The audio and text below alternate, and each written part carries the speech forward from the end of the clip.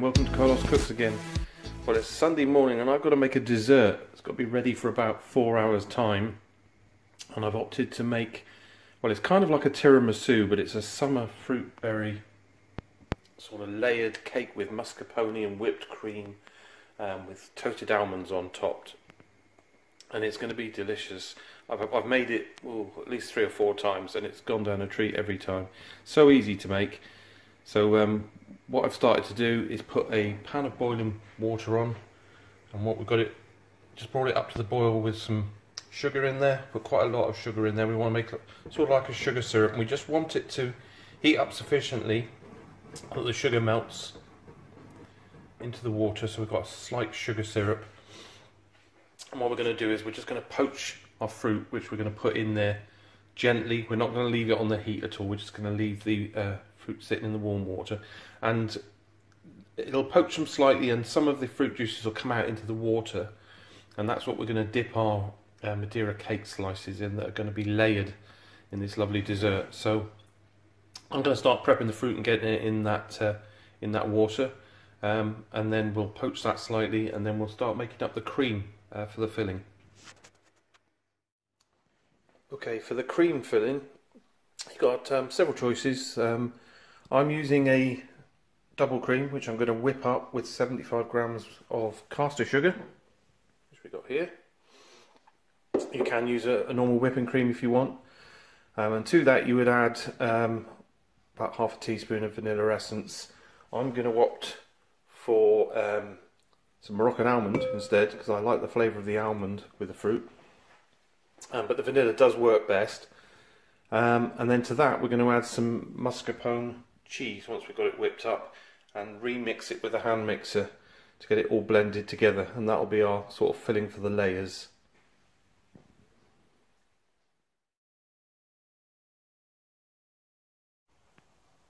Okay, the creams are all blended now. And all come up into a lovely thick creamy consistency to spread over the fruit. Um, and I've drained the fruit off of the juice and put it to one side. I have slightly over poached it a little bit, but um, you don't. I, I, left the gas on by mistake, but um, it's it's not going to be too bad. Um, but obviously, you want to turn the gas off once you've melted that sugar in your syrup, and um, just put the fruit in there to just poach in the warmth, um, so that it doesn't go too soft. But um, it's still going to work out all right. So here's the dish that we're going to make it in and layer it in, and here's some Madeira cake slices that we're going to use. Now you can use um, your own sponge fingers or um, lady fingers. Works well with that as well, like a, a real tiramisu. But what we're going to do is we're going to dunk these uh, Madeira slices in the syrup and then make a layer uh, in the dish. Then we're going to coat that in fruit, uh, coat it in cream and then do the same again. So I'll do that now and, and show you what it looks like at the end. One thing to mention is that you give these the quickest of dunks into the um, fruit syrup.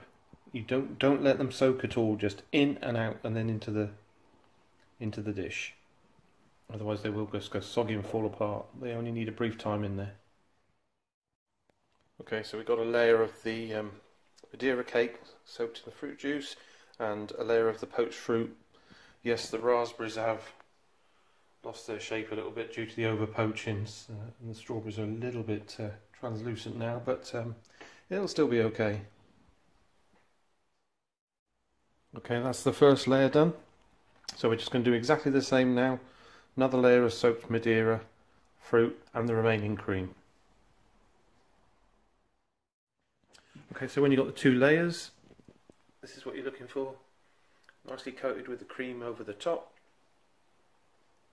And then just before serving, what I'm going to do is I'm going to put a couple of bits of fruit I saved in the middle. So some uh, sliced strawberry, uh, blueberry and raspberry, and then we're going to toast almonds and sprinkle those all over the top and then just a dusting of icing sugar to finish it off. So I'll show you that later because it's going into the fridge now for at least four hours.